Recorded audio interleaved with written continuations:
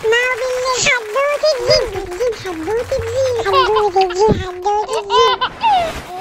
لكل ولادي الحلوين يلا بينا نصلي على نبينا سيدنا محمد. اللهم صلي وسلم وبارك عليك يا حبيبي يا رسول الله. صاحبك بيضربك صاحبتك بتتريق عليكي. كلكم دايما بتشتكوا من التنمر ومش عارفين تعملوا إيه. اولا لازم تعرفوا اللي بيضربك وبيشتمك وبيتريق عليك ما ينفعش تقول عليه صاحبي عشان صاحبك اللي بجد هو اللي هيحبك وهيخاف عليك وعمره ما هيمد إيده عليك ولا هيقولك كلمة تزعلك. ويا ريت تشوفوا فيديو الصاحب الجدع عشان يبقى ليك صاحب بجد.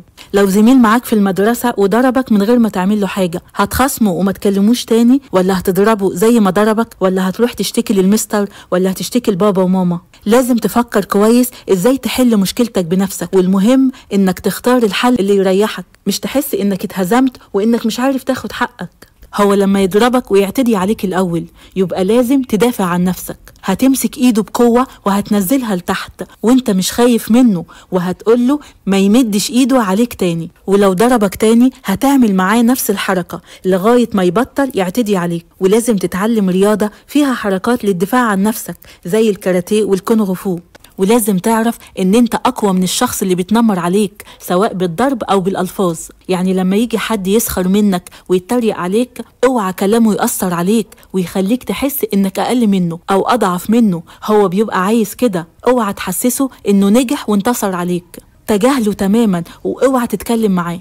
ومرة في مرة هو هيحس بالملل ومش هيعمل معاك كده تاني. ولو عمل معاك نفس الكلام اتكلم مع حد أكبر منك واشتكيله وهو هيقف معاك وهيساعدك. وافتكروا دايما إن اللي بيشتم وبيضرب وبيتنمر على الناس ده إنسان مش كويس وما عندوش أخلاق.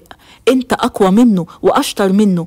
لازم يكون عندك ثقة في نفسك ولازم دايما تشتغل على نفسك. تذاكر أكتر عشان تبقى أشطر وتلعب رياضة عشان تبقى أقوى وتتعلم أخلاق سيدنا محمد صلى الله عليه وسلم. عشان في حديث جميل بيقول إن من أحبكم إلي وأقربكم مني مجلسا يوم القيامة أحاسنكم اخلاقا واستنوني المرة الجاية في مشكلة جديدة من حدوتة جين.